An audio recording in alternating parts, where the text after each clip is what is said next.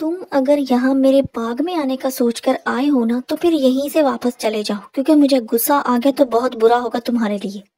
लूमड़, यार तुम गुस्सा क्यों कर रहे हो? मुझे थोड़ी सी भूख लगी है। दो तीन गाजरों से मेरा पेट भर जाएगा। उससे तुम्हारा बाग तबाह होने वाला तो नहीं है। ऐसे तो मत करो अब मेरे साथ।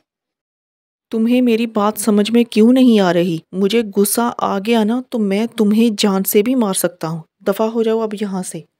खरगोश, तुम्हें पता है सेबों का जो दरख्त है वहाँ पे एक शिकारी पिंजरा लेकर बैठा है। वो किसी जंगली जानवर को पकड़ के लेके जाना चाहता है। और वो जंगली जानवर कोई और नहीं लूमड़ होगा। देखना अब मैं अपनी बेइज्जती का बदला इससे कैसे लेता हूँ? कैसे इसको शिकारी का शिकार बनाता हूँ? अब देखो कमाल। तुम फिर आ गए। मैंने तुम्हें मना भी किया था कि मेरे पास ना आया करो। मैं तुम्हें अपने बाग से एक गाजर भी नहीं खाने दूँगा। और बास तुम क्यों नहीं आ रहे? मेरे दोस्त तुम नाराज़ क्यों हो रहे हो? इतना गुस्सा मत करो। मैं तो तुमसे उस दिन की गलती की माफ़ी मांगने आया हूँ और तुम्हें दावत में बुलाने आया हूँ। हम सब खरगोशों ने दावत की है और तुम्हें मेहमानी खुसूसी बनाकर बुला रहे हैं।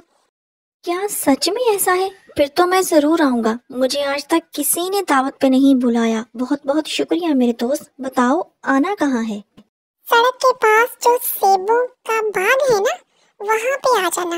मैं वहाँ पर तुम्हारा इंतज़ार करूँगा। मैं तो आ गया। जो जगह मुझे खरगोश ने बताई थी लेकिन मुझे यहाँ पर तो कोई भी दिखाई नहीं दे रहा। ये ये ये बचाओ बचाओ बचाओ। ये क्या? पिंजरा तो मैंने किसी बड़े जानवर को पकड़ने के लिए लगाया था और ये लूमड़ फंस गया। चलो खैर कुछ ना होने से तो बेहतर है कि कुछ मिल ही जाए। अब मैं अपना बोरा लेकर आता हूँ। तुम्हें उसमें डाल के लेके जाऊँगा और शहर में जाकर बेच दूँगा। क्यों लूमड़ जी? आ रहा है ना पिंजरे में मज़ा। तुमने मेरी बेइज्जती की थी ना? लो ले लिया मैंने अपनी बेइज्जती का बदला।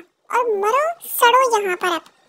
खरगोश मेरे दोस्त मुझे इस पिंजरे से किसी तरह से निकालो। मैं तुम्हारी हर शर्त मानूँगा। तुम्हें गाजरें चाहिए ना? रोज मेरे बाग से आकर जितनी दिल करे गाजरें खा लेना लेकिन मुझे यहाँ से निकाल दो। अब अपना वादा याद रखना। ये ना हो कि मैं तुम्हें इस पिंजरे से आज़ाद कर दूँ और तुम अपनी बात से मुकर जाओ। फिर मुझसे बुरा कोई नहीं होगा। सोच लो। नहीं मेरे दोस्त मैं वादा कभी नहीं तोड़ूँगा। बस मुझे यहाँ से आज़ाद करवा दो।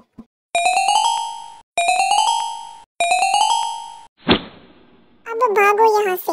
इससे पहले कि शिकारी वापस आ जाए।